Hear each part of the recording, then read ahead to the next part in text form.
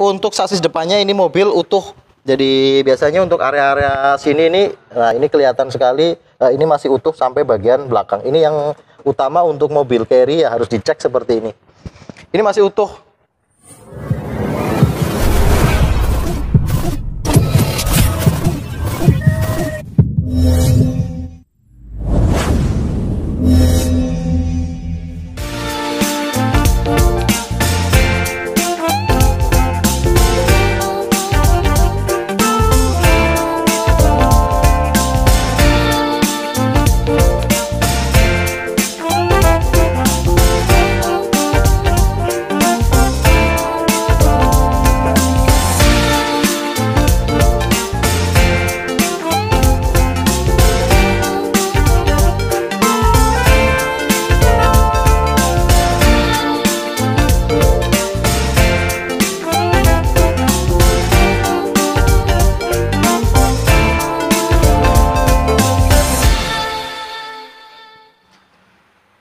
Assalamualaikum warahmatullahi wabarakatuh. Eh, semoga kita dalam keadaan sehat walafiat, rezeki lancar, berkah dan barokah.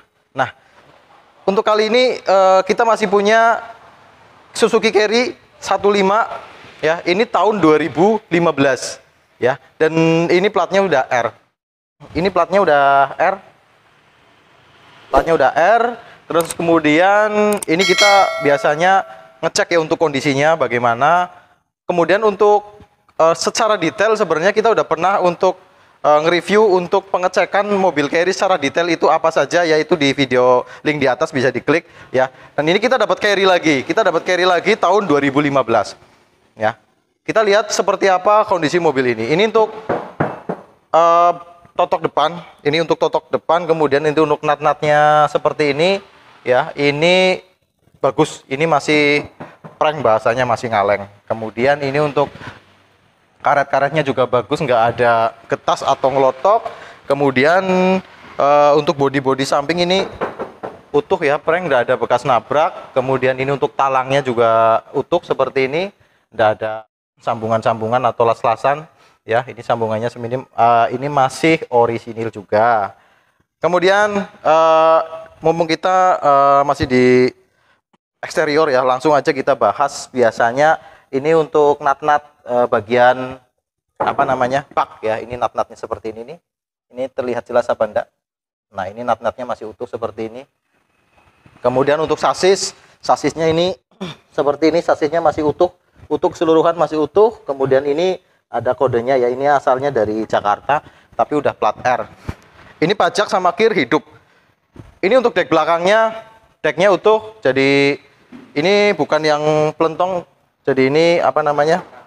Ini rata untuk dek rata. Ini dek orisinil ya karena ada sambungan-sambungan seperti ini. Ini orisinilnya begini dan ini rata 2015 ya kemudian untuk ban keempat-empatnya masih bagus. Siap pakai. Nah ini kita lihat interior. Untuk kabin ya nomor satu biasanya bagi orang yang mau ngecek kendaraan terutama Suzuki Carry, Carry Futura ini nomor satu yang dilihat ini ininya bagian spakbor ini ya. Ini harus uh, natnya kelihatan seperti ini. Ini ada nat-natnya satu dua ini seperti ini natnya. Kemudian ini listnya harus kelihatan seperti ini. Ini utuh. Ini joknya orisinil. Ini jok orisinil uh, atas bawah orisinil. Kemudian ini lantai ya. Untuk lantainya sendiri orisinil semua lantainya ndak ada bekas-bekas las-lasan insiden atau mungkin keropos ndak ada. Ini masih utuh. Kemudian untuk ah sealer-sealernya bagian sini ini juga utuh ya. Kalau memang ada bekas insiden atau nabrak ya ini biasanya kelihatan. Untuk sealernya ini udah rubah. Kemudian ini yang istimewa eh, kilometer. Untuk kilometernya sendiri ah, ini kilometernya 52.000 kilometernya 52.000 tahun 2015 kabin utuh orisinil ya ini sun visornya masih ada ini setirnya juga orisinil mesinnya bagus kering normal tidak ada kendala pokoknya ini siap pakai lah Tidak kalah penting untuk bagian sasis depan. Nah ini penting sekali untuk sasis depan sering terjadi keropos untuk bagian sini. Nah ini kamera bisa langsung uh, shoot aja. Untuk sasis depannya ini mobil utuh. Jadi biasanya untuk area-area sini ini, nah ini kelihatan sekali. Uh, ini masih utuh sampai bagian belakang. Ini yang utama untuk mobil carry ya harus dicek seperti ini. Ini masih utuh.